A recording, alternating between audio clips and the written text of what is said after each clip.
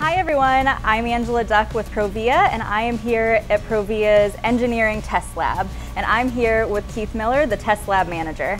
Keith, can you tell us a little bit about what you're doing here? Right now I'm doing a water infiltration test. Basically that's spraying water from the curtain on the front and I put a positive pressure on the inside of the door to see where or if we get water infiltration or water leak. The water is sprayed at hurricane force. Uh, it is eight inches of rain per hour. So eight inches of rain, if this door is gonna leak, you're gonna find it now, yes. right? we will find it if it does leak. So. so is this where the testing of our doors stops? No, there's actually quite a few other things. Let me show you. All right, let's go.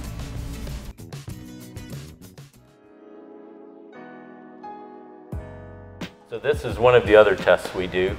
This is what we call a slammer. So this is the fast slammer. Slam it pretty hard as you will be able to see here in a minute. About how many times do you think you slam it? Well, the industry standard is we usually go two to three times over that standard. So it is uh, quite a few times, over a 100,000 or several hundred thousand wow. can be, depending what for tests we are running on that. Wow. So if somebody has a moody teenager and this teenager is slamming the door all the time, this door is going to hold up. It should hold up. Can't guarantee how angry your teenager is. Fair enough.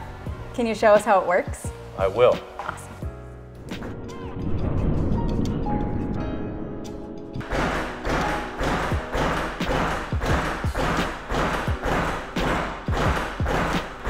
Wow, that's loud.